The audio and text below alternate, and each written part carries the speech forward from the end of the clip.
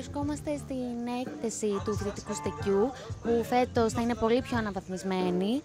με τίτλο «Με οργάνωση, αγώνα και αλληλεγγύη να τους χαρίσουμε ένα δύσκολο χειμώνα» που έρχεται να απαντήσει δηλαδή σε όλους τους προβληματισμούς που έχει η νεολαία και οι φοιτητές πιο συγκεκριμένα απέναντι σε όλες αυτές τις εξελίξεις που αντιμετωπίζουμε, απέναντι στην ακρίβεια για παράδειγμα, τώρα και δηλαδή και με το δύσκολο χειμώνα που μας προετοιμάζουν καθημερινά, απέναντι στις εξελίξεις με τον πόλεμο στην Ουκρανία, απέναντι στη φοιτητική στέγαση αλλά και στην καταστολή που τώρα βλέπουμε ότι είμαστε και μία μέρα μετά από τα επεισόδια, από την Um. Είσοδο της Πανεπιστημιακής Αστυνομίας στο Αριστοτέλειο Πανεπιστήμιο Θεσσαλονίκης και έρχεται επίσης να αναδείξει και τους ελπιδοφόρους αγώνες του προηγούμενου διαστήματος, τους αγώνες δηλαδή της ΛΑΡΚΟ, της eFood και μία σειρά από άλλους αγώνες σε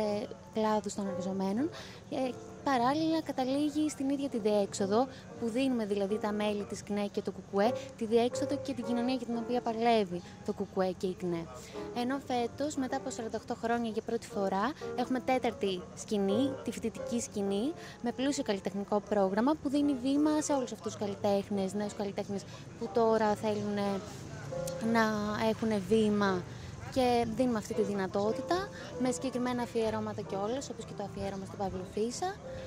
Και τέλος έχουμε και την γωνιά των πρωτοετών, όπου οι πρωτοετής που πέρασαν τώρα στο Αριστοτέλειο, στο ΔΙΠΑΕ, στο ΠΑΜΑΚ μπορούν να βρουν διάφορες πληροφορίες και για τα τρία ιδρύματα.